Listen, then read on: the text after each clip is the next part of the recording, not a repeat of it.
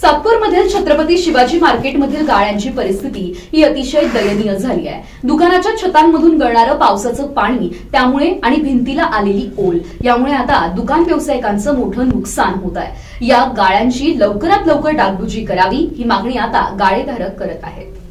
हे दृश्य आहे सातपूर परिसरातील श्री छत्रपती शिवाजी महाराज मार्केट परिसरातील.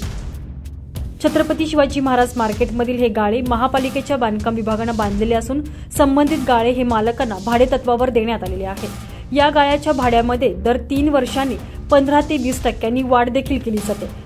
मात्र असं असलं तरी या ठिकाणी सुविधांचा अक्षरशः अभाव आहे.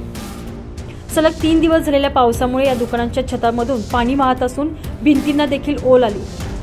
विशेष म्हणजे या गाळ्यांचे काही वर्षांपूर्वीच नूतनीकरण करण्यात आलेले होते.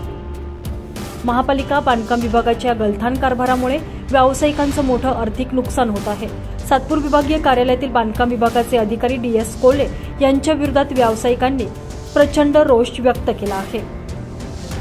जब से मार्केट बना है हाँ। तब से दीवार से पानी आता है। सब कलर उलर चला गया है। हमारा माल खराब हो गया। कितना माल फेंक दिया हमने। उसका कोई इलाज नहीं है। खाली आप लोग पैसा लेने आते हो भाड़े. लेकिन इसका सुधार कुछ होता नहीं है।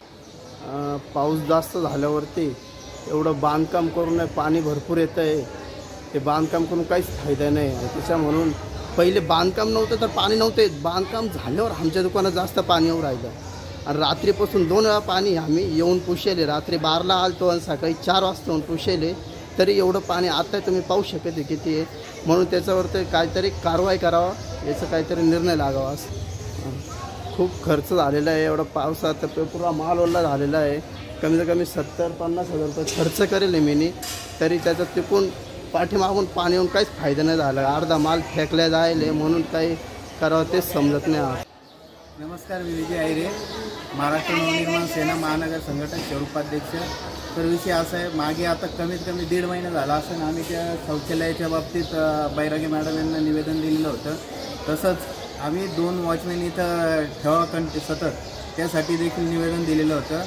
आणि पुन्हा या मार्केटचे चुकीचं बांधकाम झालेलं आहे. चुकीच्या इंजिनिअरिंगमुळं इथं संपूर्ण लोकांना त्रास त्रास होतोय. या चुकीच्या इंजिनिअरिंगचं तुम्ही बघू शकता काय काय दृश्य होऊ राहिले. हे लोकांचे जितके गाळे खालच्या साईडचे ते चार पाच गाड्यांमध्ये सतत पाणी चालू आहे. आणि कमीत कमी आता एका गाड्यावाल्याने सत्तर ऐंशी हजार रुपये खर्च करून त्या गाड्याचं काम केलं तरी देखील त्याचं कमीत कमी पंच पंचवीस तीस हजाराचं नुकसान झालं इकडं एक साड्यांचं दुकान आहे त्याच्या गाद्या संपूर्ण खराब झाल्या. साड्या काही खराब झालं फेकून देण्यात आलेले आहे.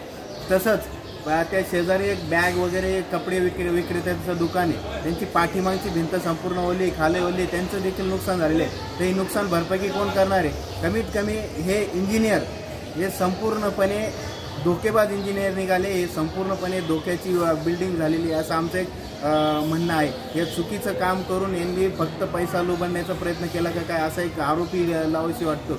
आता हे ब- तुम्ही शौचालयाचा विषय झालाय. शौचालयाच्या वासची दिशा बाहेर आली पाहिजे तर मध्ये आलेली आहे. आता किती लोक आजारी पडत आहे मागे देखील सांगितलं होतं पण या लोक अजिबातच लक्ष द्या- देत नाही आता बैरागी मॅडम यांना फोन केला असता ते म्हणे काल काल परवा आमच्याकडे आले होते.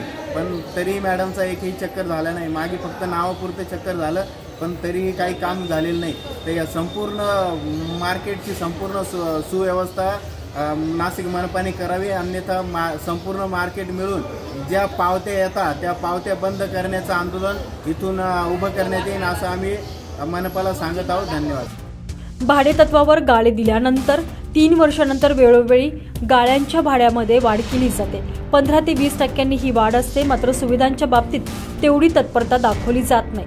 दरम्यान महिनाभरापूर्वीच या ठिकाणी शौचालयाच्या दुर्गंधीबाबत विभागीय अधिकाऱ्यांना निवेदन देण्यात आलेले होते. मात्र महिला उलटल्यानंतर देखील या ठिकाणी कुठलीही स्वच्छता अद्याप देखील झालेली नाहीये. या ठिकाणी सुरक्षा रक्षक तैनात करावा बुरट्या चोरांचा बंदोबस्त करावा भटक्या जनावरांना कैद करावे अशा मागण्या देखील यावेळी स्थानिक व्यावसायिकांकडनं केल्या गेल्या. मात्र या मागण्यांकडे देखील सर्रासपणे दुर्लक्ष केलं जात आहे. या छोटेखानी व्यवसायावरच आपलं संपूर्ण कुटुंबांचा उदरनिर्वाह चालवणाऱ्या या व्यावसायिकांना समस्येच्या गर्तेतून बाहेर काढावं इतकीच माफक अपेक्षा या व्यावसायिकांची आहे. तुषार ढेपले नाशिक न्यूज नाशिक.